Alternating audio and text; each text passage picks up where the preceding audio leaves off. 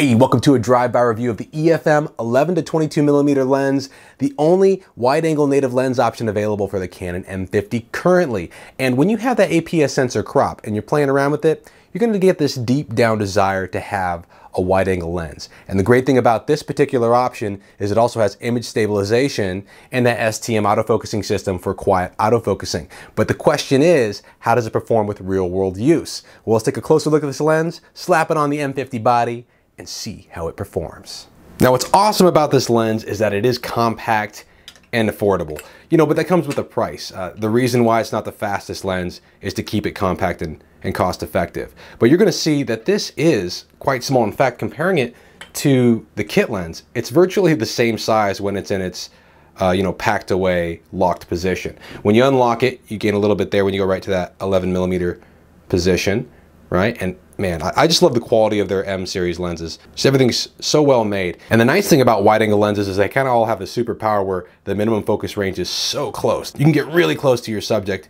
And if you want to get that buttery smooth background, even with this slower lens, you can do so by getting really, really close. Now, as a wide angle lens, it should be phenomenal for taking group shots indoors, tight spaces, landscape shots. And since you can zoom out to that 22 millimeter focal length, it's also a great walk around lens. However, I wouldn't use this to replace the 22 millimeter I just reviewed because as a prime lens, I think that's gonna be a little bit more crystal clear as far as the quality of the shots, and also that's a faster lens. But I'll save my judgment to the end of this because this could blow me away, especially with that internal stabilization. All right, guys, I'm excited about this. Let's see how this lens performs on the Canon M50.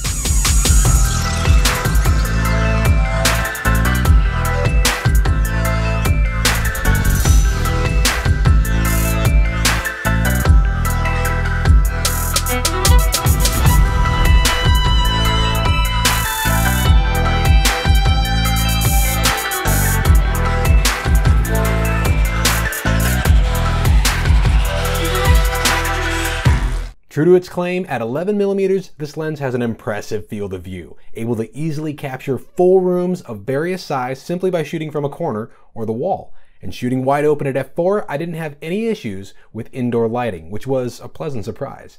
And in that video montage, you can see I was playing around with the 120 frames per second with the image stabilization from the lens on.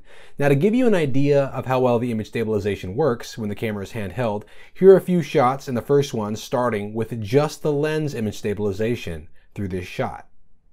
Now with the second shot, this is with the addition of the M50 digital stabilization on, and you'll notice it slightly crops the image to utilize that function. And the last shot is switched to the enhanced stabilization mode from the M50 body, which you'll notice has a significant crop and makes the field of view similar to 22 millimeters, even though the lens is still at 11 millimeters. And that's generally more of a crop than I'll tolerate to utilize when actually creating videos that I'm going to utilize later. The wide angle also makes it a great option for room and real estate shots in general, as you'll be able to fit in everything you want to on most occasions.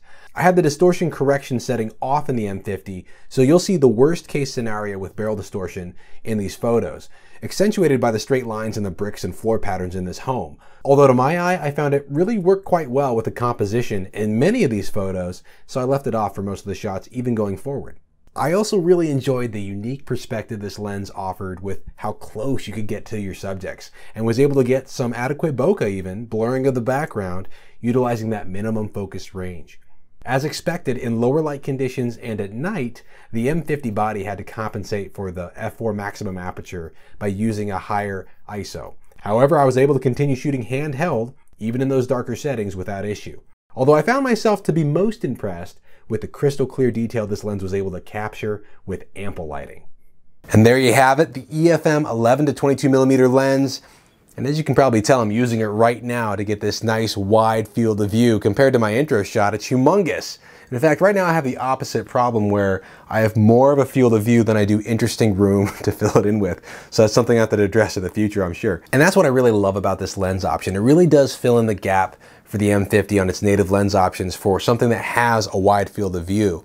And combined with that image stabilization, it's perfect for those vlogging style shots where people walk around with the camera right in their hand. And also for these type of shots where you're doing some sort of review or some sort of video about a product and you wanna maybe get more of you in the shot or more of the product in the shot and its surrounding area. It's just phenomenal for that. And as you guys saw, if you combine it with the enhanced stabilization in the M50 or even the step down, it really can smooth out some of those shakier shots if you got poor control, you got the camera out in front of you, and it really gets a lot better than when you pull it in, as you saw in some of those um, more interior shots where I was able to stabilize myself a little bit better than just walking out into the yonder trying to, you know, get those stepping shakes to minimize with the M50 stabilization. And as for the all-around aspect of this lens, I can see why people say that this could be one of those lenses you just place on your camera and use almost solely.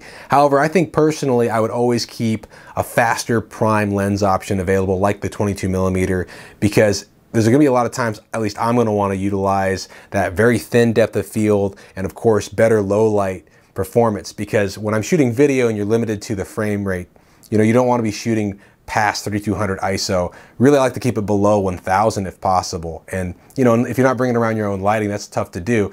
And if with an f4 aperture, there's no way you're gonna stay that low. So it's just something where I think, I get why it would be all around, but I think I'm always gonna keep something else in the pack to make sure that I can tackle those challenges out in the field if they all of a sudden hit me. Now, if you're interested in this lens for yourself, I'll post a link down in the description below so you can check out the lens and purchase it if you're feeling frisky. And of course, give me your comments, suggestions, and recommendations. If you got anything you got to say, post it in the comments down below. I love to read those things. And also stay tuned because I have the EFM 32mm in the mail and I'm excited to review that one as well. All right, guys, thanks for tuning in and I'll see you next time on Drive By Reviews.